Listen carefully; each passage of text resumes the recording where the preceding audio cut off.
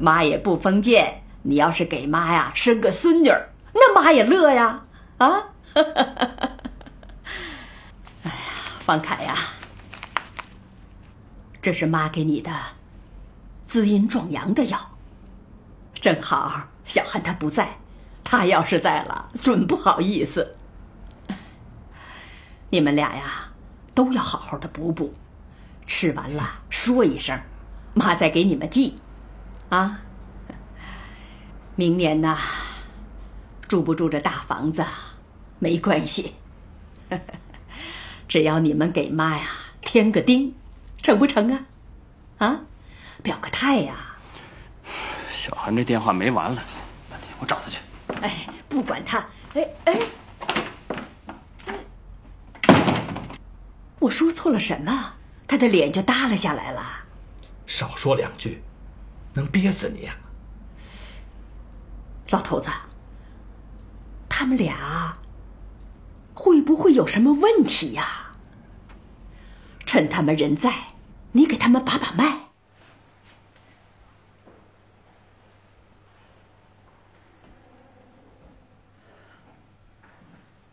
乔玉的电话。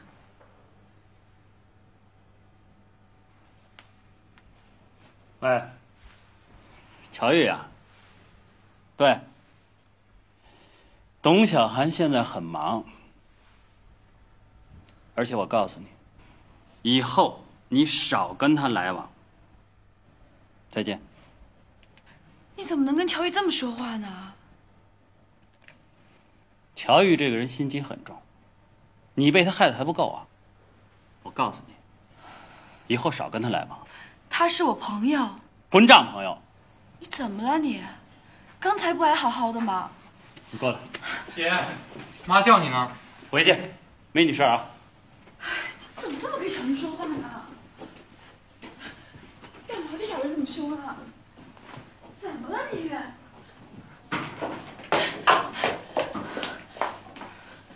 你对我弟弟这么凶干什么？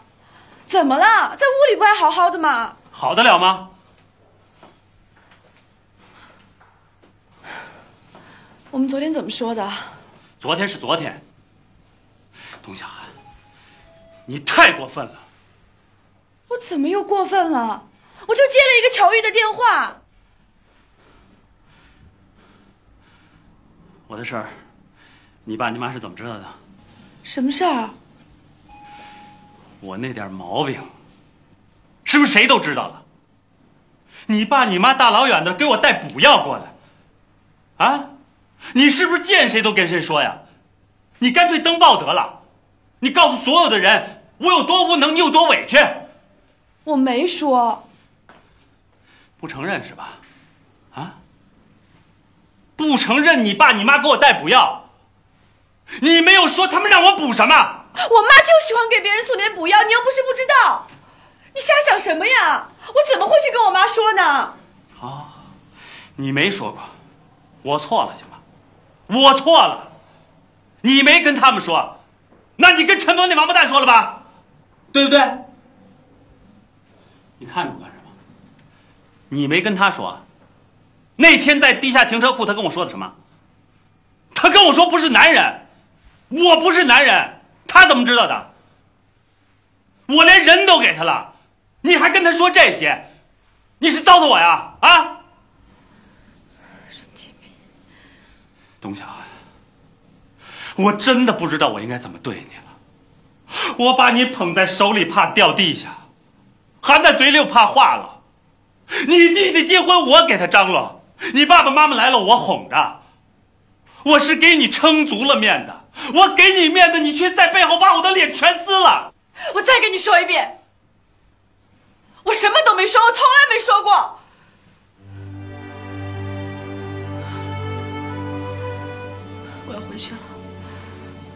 别着急了，小孩，我错了，对不起，小孩，我错了。小孩，我一会儿去接爸爸还有小萌。今天晚上咱们两家好好的吃顿团圆饭，我给你撑足了面子。我希望不要再节外生枝。电话给我。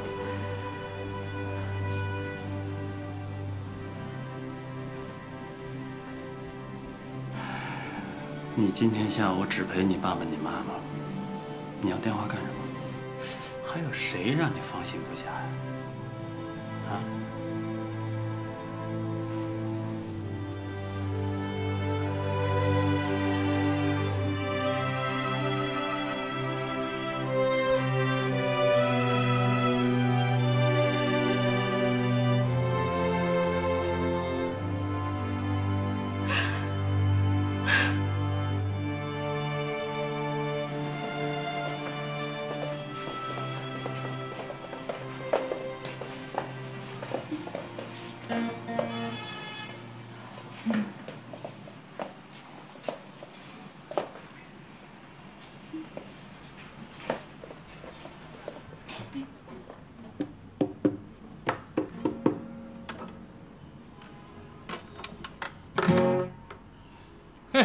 一看你就懂行，这可是把好琴呐，这可是纯手工制作的。这应该是这店里最好的一把琴了。不过你这价钱好像不太合适。嗯成，货卖实价啊，您开个价钱。按你这标的价钱，再打个六折，估计你还有赚。您真懂行。好，我开票去啊。哎，你什么时候开始玩上琴了？你懂吗你？你那把琴太旧了，成色也太差，好像音准还有点偏。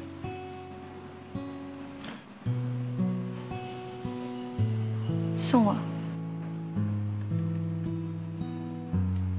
你的奖金，试试。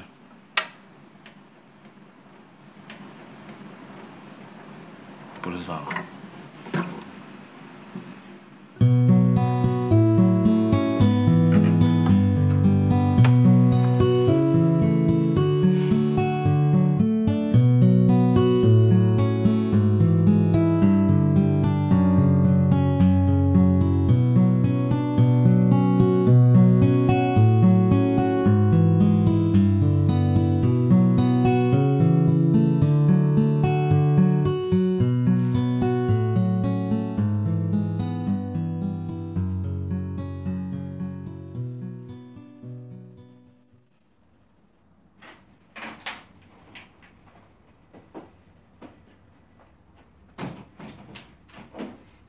小韩，听小润说，你们俩刚才吵架了。